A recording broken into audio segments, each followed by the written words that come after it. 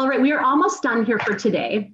So, our final activity before we wrap up is going to be a little bit of reflection. So, I can start us off. You know, I look back on the past year and a half and I can't help but marvel at the roller coaster of emotions we've all been on. I mean, I think about those awkward Zoom meetings last spring. I think about our passion projects. I think about our spring concert that was virtual ish. I don't know about you, but I definitely breathed a huge sigh of relief when last school year was done, that's for sure. And then there was the uncertainty of summer. And what school would look like when it started again in the fall. Would we be virtual? Would we have to wear a mask? Could we even sing? Could we even sing? But remember the tent, that big red and white tent on the side of the building that we got to sing in? That was pretty awesome. It was. We got to make music, although it wasn't that great when it rained, or that time the wind almost picked it up and blew it away, or when the bees chased us, or we got blown over by all of the grass clippings from the lawnmowers, or that time the fire truck came by and blew his horn at us, or the kids would laugh and watch and video us. Super weird. And then there was the time the snow came and things got really cold, and then we knew that was it. But we had music, so I can't complain. Man, it has been an exhausting and crazy year, but I'm so grateful for all of you and I'm grateful for our music and our time together. I really believe we're going to look back and see that we are stronger now than we were back then, and that our futures are full of way more hope than we could ever imagine. At least that's what I hope. So, who else wants to share? Could anybody just unmute and share their experience this year, what it was like? Kate, go ahead, please unmute yourself and share your story. This is the sound of is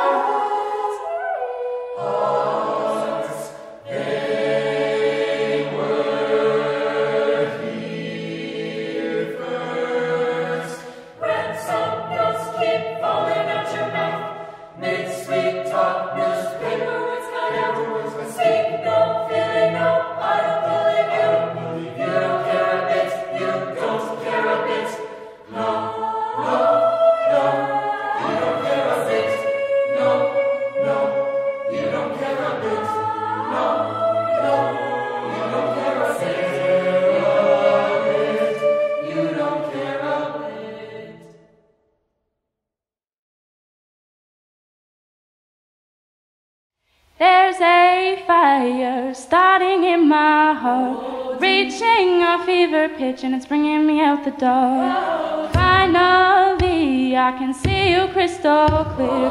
Go ahead and sell me out and I'll lay your ship